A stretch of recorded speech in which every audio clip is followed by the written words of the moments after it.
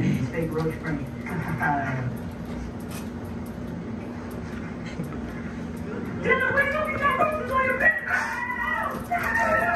Alright, that was just something make.